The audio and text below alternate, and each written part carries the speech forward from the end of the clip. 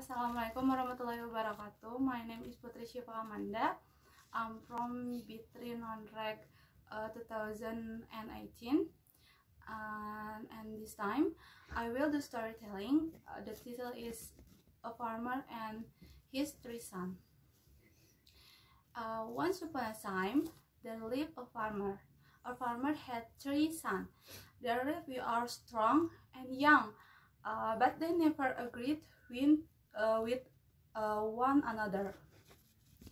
They often quarreled among themselves. Uh, the farmer had given them a lot of advice, but they always turned a dear near. They disliked advice. Uh, the farmer felt very sad about it. The farmer was thinking hard and then he got a good idea.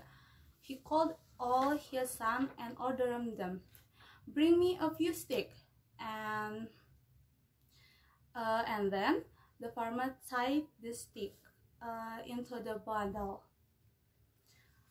Uh, each of you break the bundle of stick, uh, said the farmer to his son. Uh, they did they did what their father said, but they couldn't break it. Then the farmer untied the stick and gave each of his son and a stick. Uh, there are my signs, said the farmer. If you remain united, you are strong. But if you quarrel with one another,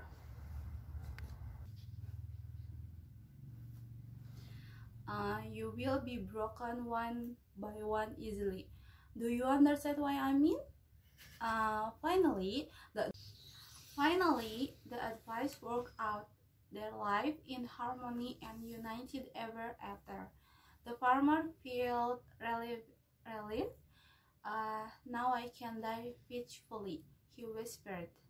Um, and then, thank you for watching. I'm so sorry there are mistakes on my storytelling. Wassalamualaikum warahmatullahi wabarakatuh.